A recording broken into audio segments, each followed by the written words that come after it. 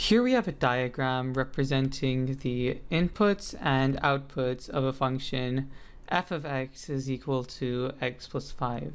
And what this represents is pretty self-explanatory. The left represents all of the inputs of our function, and the right represents all of the corresponding outputs.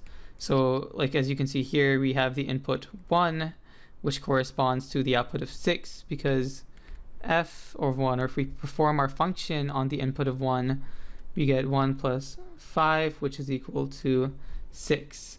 Similarly, if we were to take an input of negative 1, we would get f of negative 1 is equal to negative 1 plus 5, giving us an output of 4. So the, the input of 1 corresponds to the output of 4. So what we are basically doing is here we're taking our input, performing our function f on it in order to get our output. So we're taking our input 1, performing f on 1, as we, we can see here, to get our output of 6. Same thing's going on here, we're performing f on negative 1 in order to obtain an output of 4.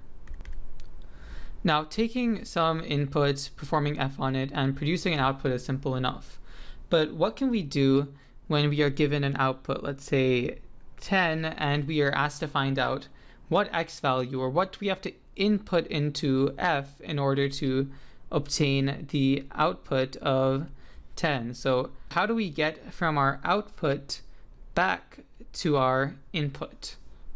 So going from our input to our output, we just performed f. So what do we have to perform to go from our output to our input? You've probably realized by now that the answer to this question is 5 because if to get from our input or our x value to our output, we simply have to add 5. So if we want to go from our output to our input, we just have to do the opposite. We subtract 5.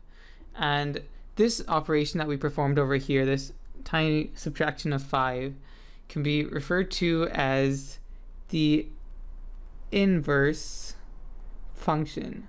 So it's basically the inverse or the opposite of the function. So we perform our normal function to get from our input to our output, and we perform our inverse function to get back from our output to our input. So once again, for example, if we have an output value of, let's say, 12 and we want to find out what the input value is, we perform our inverse function, which is subtracting 5 in order to get our input value of 7. So we denote our inverse function or the function that gets us from our output back to our input as f inverse. Like this little to the power of minus 1 means inverse. So to get from our output to our input, we have to apply f inverse. Okay, now that you have a basic understanding of what an inverse function is, I'm going to show you how to solve for one. So let's say we have our, use the same example, f of x is equal to x plus 5, and we have to find f inverse of x. And this just means that we're denoting it in terms of x, which you'll, it may seem confusing now, but you'll get to understand it in a little bit. So we start out by writing our equation in the form of y is equal to x plus 5. And you may be wondering, why do we use the term y? It's just so that our function looks a bit less clunky.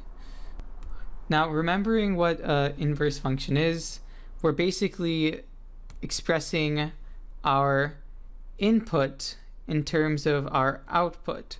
So over here, that means we're expressing our input or x in terms of y. So we want to get an expression where x is equal to some operation involving y. And what that basically means is we want to get x alone. So doing that over here is very simple. We simply just subtract 5 from both sides.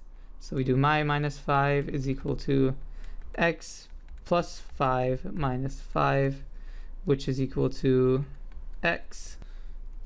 So x, or our input, is equal to y, or our output, minus 5. And now we just need to express our answer in the notation that's shown in the question. So we write f inverse of x is equal to x minus 5. This is our final answer. And if we look back, we see that in order to get to our input from our output, or when we perform f inverse, we are simply just subtracting minus 5 or doing the reverse of f of x.